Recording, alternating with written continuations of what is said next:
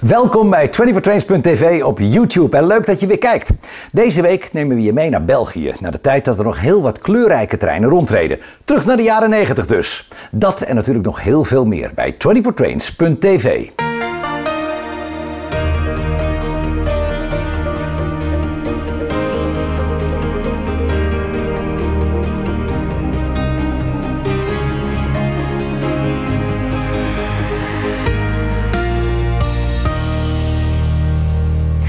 België is het eerste land op het Europese vasteland dat een treinverbinding in dienst stelde.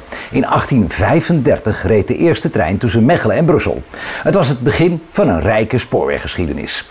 De spoorwegen hielpen het toen net onafhankelijke land verder in de industriële ontwikkeling.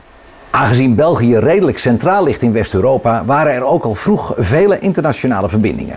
24trains.tv neemt je daarom deze week mee naar België. Niet alleen grote treinen komen voorbij, we hebben ook wat prachtige modelsporbanen met België als thema. Straks meer over onze nieuwe films uit België, want zoals je weet heeft 24trains.tv films en magazines van over de hele wereld. Zoals bijvoorbeeld uit Polen. Want in Polen rijden vanuit het depot Wolszin nog steeds stoomtreinen in de reizigersdienst. Het is een waar stoomparadijs en er is ook nog steeds een jaarlijks stoomfestival. We hebben beelden van de editie die in 2004 werd gehouden met stoomtreinen uit Polen en Duitsland.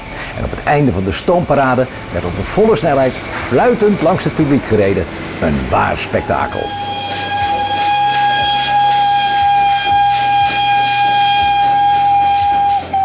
Gaan we van Polen even naar Nederland? Nou ja, even. We nemen je in een soort van tijdreis mee langs verschillende spoorse evenementen. Het is een verzameling van beelden uit 1991 tot en met 2005 en komt uit het archief van een treinspotter in Brabant. We hebben er een 19-delige serie van gemaakt met meer dan 5,5 uur videomateriaal. Zoals bijvoorbeeld het legendarische afscheid van de 1200 locomotieven in Geldermals in 1998 of 150 jaar spoorwegen in Roosendaal in 2004 omdat het zoveel materiaal is, komen we nu met de eerste delen en in augustus met de rest. Heb je trouwens zelf ook nog eigen gemaakte mooie video's op zolder liggen? Laat het ons weten via info@24trains.tv. Zoals je ziet hebben we iedere week weer wat nieuws bij 24trains.tv en onze collectie groeit maar door. Met meer dan 3500 treinen, films en magazines zijn we ruim de grootste treinenmediatheek ter wereld. Ga dus in een sneltreinvaart naar 24trains.tv en word abonnee. Voor maar 4,99 euro per maand ben je al abonnee, dus voor die prijs hoef je het niet te laten en maak je je treinenhobby helemaal compleet. Zoals gezegd nemen we je deze week mee naar België. Want België is een echt treinenland.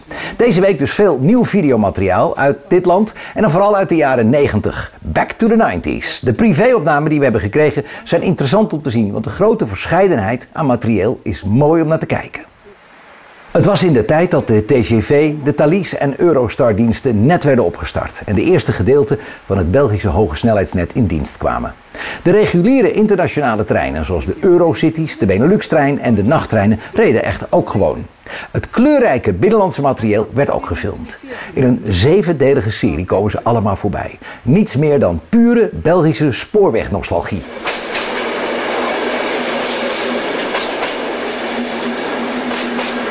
422 op pad naar Namen.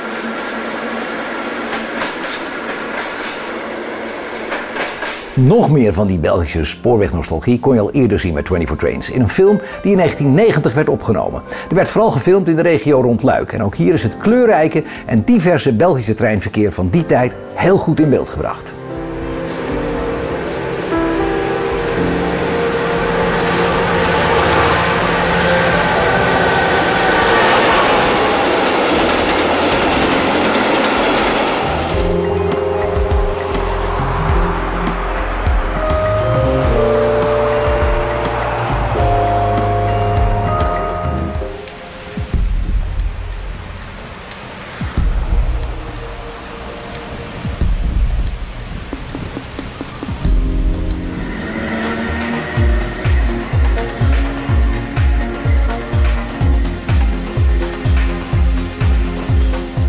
En om dan maar helemaal in het Belgische thema te blijven, hebben we natuurlijk ook Belgische modelspoortreinen. Deze prachtige modelsportbanen werden gefilmd tijdens de modelsporttentoonstelling Mop Expo, die jaarlijks in het Belgische Sint-Niklaas wordt gehouden. Vier prachtige modelsportbanen die stuk voor stuk tot in detail zijn afgewerkt. Zo zien we bijvoorbeeld de prachtige diesellocomotieven uit de reeks 55 voorbij komen.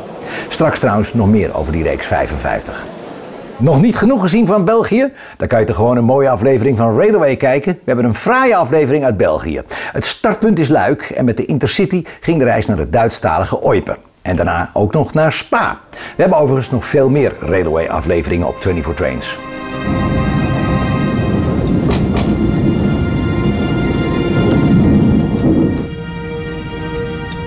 De locomotief van de L11-treinen, de zogenaamde reeks 13, wordt gebouwd bij Alstom in Frankrijk.